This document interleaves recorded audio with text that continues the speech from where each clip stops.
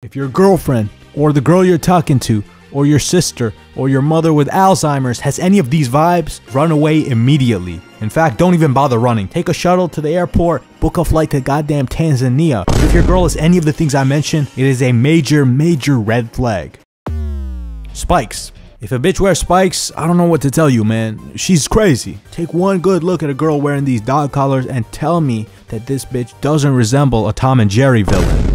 Now, unfortunately, the trend of women wearing spikes is becoming more and more common, and I especially see this with Gen Z chicks who are just all out draped in spikes nowadays. It's just not aesthetically appeasing in any sort of way whatsoever. And you know, it's just not hot.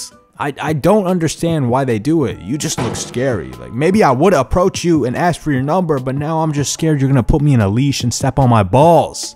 And I don't know why they're doing this. I suppose it's to look edgy or cool or give off a vibe that you're an outcast from society, but but you just look like one of them like bulldogs from the pound, and I'm not freeing your ass. Don't come home with me. Uh, you know, I don't, I don't want to get bitten, so I'm not fucking with you. Neon lit bedroom. Neon lights in your bedroom are yet another indicator that you're not completely mentally okay. Like this ain't 1980, bitch. You don't live in Neo Tokyo. You don't live in a futuristic cyberpunk city with a fat Mexican compatriot named Jackie Welles. You don't live in Blade Runner 2047. Bitch, you live in a suburb outside of Missouri. And the only neon sign you're gonna see is like an ad for like cousin marriages.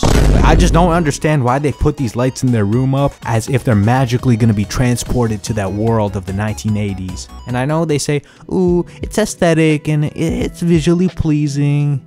Look, I understand that you're crazy and you want to escape the real world by putting these lights up.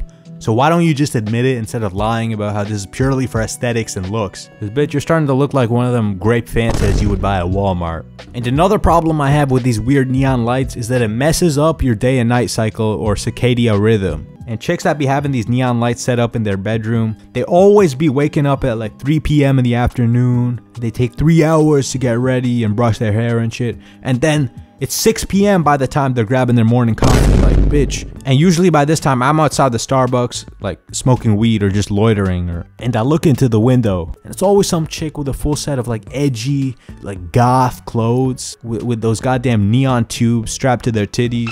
And I'm like, yo, why are you having your espresso at the devil's hour? And I have one more thing I want to mention about neon lights. I've seen bitches with the red ones, the purple ones, even the blue ones, but there's a new trend of like chicks using yellow neon light. And even though I know that shit is supposedly better for your skin, I just have to say from the bottom of my heart, there is a free form of yellow neon light you're seeking that doesn't cost any electricity, that doesn't suck the soul out of you. It's called the fucking sun, bitch. Step outside and get some sunlight instead of bathing yourself with some glow stick rod you bought off of Temu. Leather jackets. Now, leather jackets are a dead giveaway that she's gonna kill you. Like, it's already over, bro. Just give up. Write your will already. Send flowers to your gay lover Jamal already. Because, because a girl with a leather jacket is gonna dismember you. She's gonna roast your flesh and then she's gonna shoot you just for good measure. You are in a relationship with goddamn Jessica Dahmer, cuz she is clinically insane. Now, for the guys who think this is some cool shit and they say, "Oh, I want my wifey to be a motorcycle girl," you know, that's that's cool and shit. I understand your opinion, but respectfully, the chance of her being a real motorcycle chick and not a murderer is like my chance of becoming a big YouTuber. Slim to none. Fishnet stockings. Now, the whole concept of these fishnet stockings just doesn't sit quite right with me.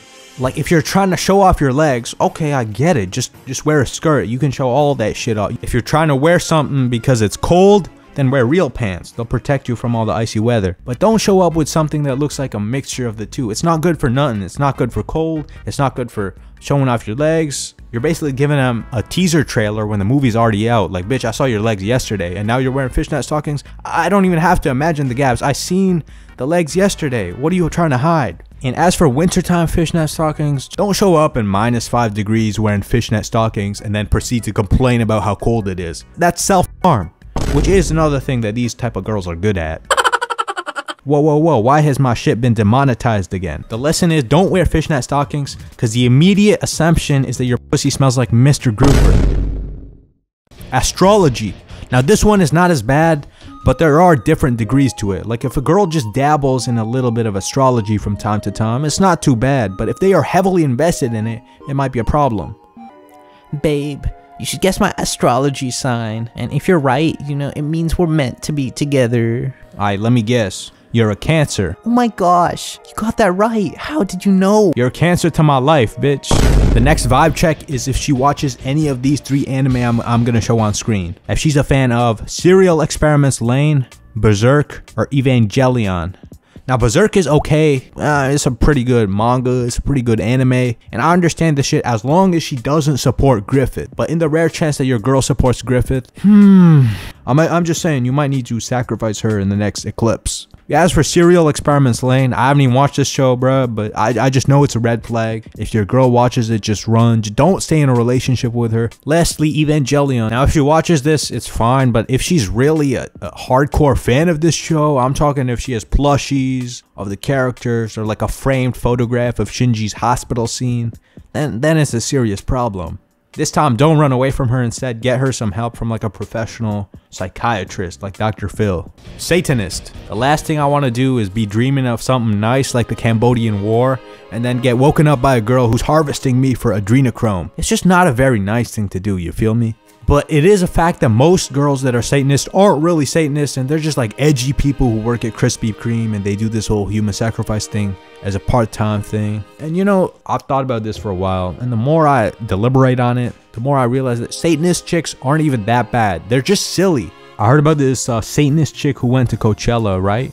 And then they started giving her some red liquid and she was all excited about it. Hoo hoo hoo, I'm worshiping the devil. I'm drinking blood and she downed like three whole unsweetened bottles of cranberry juice. Now in the in the rare chance that your girl is a real Satanist, it may be a bit of a problem. Don't do it, please, for the Lord, she worships the devil. Look at that fat ass though. You know Satan got better punani. Those who step in the dark shall never see the light. Hey, shut up. Look at that fat ass though.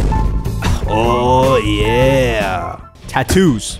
I don't discriminate against girls with tattoos, but you can't be an untatted guy and have like an inked up girlfriend. You gotta be tatted up to date them. It's like a members only club for people who inject ink into their bloodstream. But I do find tattoos quite interesting because they often say tattoos represent something, like a story or an event or someone you love. Some deeper sense of meaning you got from an event within your life. But I seen a bitch with a Martin Luther bling tattoo, so I don't, I don't really know if it holds up in court, dog. Despite all of this though, I respect the tatted up community. I'm gonna give them a pass just because one day I might get a tattoo myself and whoa, what the fuck? Piercings. Now, about piercings, I gotta go by the famous quote if done in moderation, it's okay. But if you have so much to where like you would fail a metal detector at an airport, it's just too much. I'm sorry. Like some of y'all looking like the, the Tin Man from Wizard of Oz. These heavy amounts of piercings aren't that common, but most girls will have like a piercing or two. Um, and I might just date a girl with a piercing or two just because I heard like silver is a good investment. You know, that shit's like it's a good move financially. It's very stable. But too many piercings just gets in the way. You can't kiss properly, you can't nuzzle your head, and, and God forbid they try to suck your dick. Animal fur. Another huge issue I got is with girls that are wearing animal fur all the time. I ain't like a huge animal rights activist. As a matter of fact, I own like a couple North Face jackets. But when girls have clothing made out of a strange animal, it's a massive red flag. Like a fur coat isn't that bad, but when she starts telling you it's from a llama, I get slightly concerned. Like I've seen girls plenty of times brag about exotic animals that they use to produce accessories on different parts of their body. I find it incredibly, incredibly strange. I've seen people brag about crocodile shoes. Come on, bitch. Crocodile shoes, really? You feel the need to kill a gator and make footwear out of that? You know, that, that just strikes me as concerning. Like, if she's willing to kill a whole crocodile for some shoes, like, imagine what she would do if she thought you were cheating something's clearly not screwed on correctly. The next vibe check is if they wear makeup indoors. Now, I understand if you're wearing makeup outside to try and impress your friends or look good for the camera or just like, you know, feel confident about yourself. But if it's just you and your girl at home and she's wearing makeup, what's she trying to hide from you, cuz? You gotta, you gotta be suspicious. You gotta suspect something. There's a number of things it could be. It could be a mole. It could be some hickeys or some kiss marks left by her boyfriend Jamal. Or worst case scenario, an Adam's apple. You're not a lady? Yes. What are you? I'm Lady Boy. Goofy ass shoes. Another red flag is like these goofy ass shoes. I'm talking about those massive shoes, like the ones used for hiking or the ones they use to climb Mount Everest. And girls just be wearing this like on a Tuesday at school. It really should be concerning. First of all, she's giving you the illusion that she's 5 inches taller than she actually is, which is already intimidating enough if you're short. And then on top of that, some girls add spikes to their shoes. And that shit just looks like a medieval torture device on her feet. Like, bitch, why do you feel the need to wear that? It literally serves no functional purpose. You're not gonna walk better. It's not good for your feet. It's it's fucking horrible for your arch, and you're gonna leave like a trail of dead ants wherever you're gonna go. The the next vibe check you gotta be wary of is a record girls or VHS girls or CD girls. Now they're usually wearing Metallica t-shirts and they have the uncanny ability to switch between different male haircuts of the 20th century. Now I'm not saying you should run away from these girls, I'm just saying you have to understand that she would gladly trade your life for a vinyl copy of like a Led Zeppelin song or whatever. And this goes for girls who watch stuff on VHS too, and this also goes for girls who use CD players. You have a phone. This shit plays every song in the world for free, and you still want to spend your, your paycheck on a round circular disc that vibrates? My voice is just avoid them at all costs because you don't want to walk into your house and see like a Polaroid album of you in compromising positions. And uh, are there any other bad vibes I should watch out for? Bonus round. Bitches with colored hair. Green hair equals without her makeup she would be looking like this. Red hair. She is absolutely crazy. Do not approach at any cost. Just leave her to the goddamn leopard from Cheetos.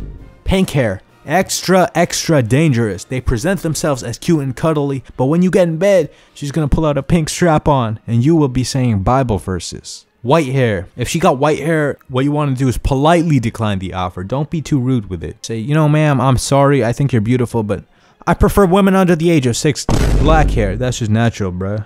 Blue hair. Why the fuck would you want to date a blue haired girl? It's gonna be 24 hours a day, 7 days a week of, uh. Can we talk about like the political and economic state of the world right now? Anyway, if she has any of these vibes, run away immediately. And don't forget to subscribe, hit the like button. Peace.